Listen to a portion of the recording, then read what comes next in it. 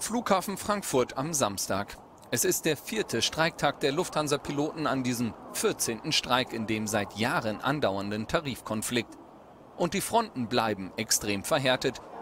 Lufthansa-Sprecher Martin Leutke am Samstag im Terminal 1 des Frankfurter Flughafens.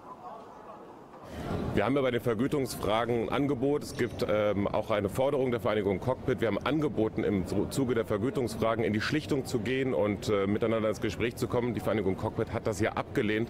Wir haben daraufhin ein weiteres Angebot gemacht. Auch das wurde abgelehnt. Wir können das nicht nachvollziehen. Vorstandsmitglied der Pilotengewerkschaft Vereinigung Cockpit Jörg Handwerk widerspricht. Es handelt sich nicht um ein erneutes Angebot, sondern äh, die Positionen, die dort mitgeteilt wurden, sind die aus einem offenen Brief an das Personal und sind schon über zwei Monate alt. Es handelt sich hier um eine Vielzahl an Themen. Wir befinden uns aber in einem Streik zur Vergütung. Schon allein aus diesem Grund äh, wäre es rechtlich äußerst schwierig, über andere Themen zu sprechen.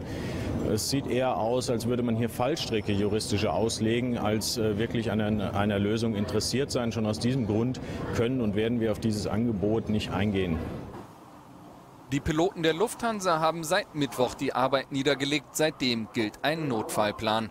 Der Streik soll vorläufig am Samstag enden. An den vier Streiktagen bisher verpassten rund 350.000 Passagiere ihren Flug.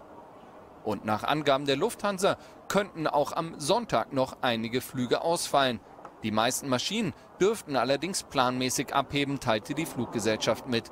Kunden sollten sich trotzdem besser vorab über den Status ihres Fluges erkundigen.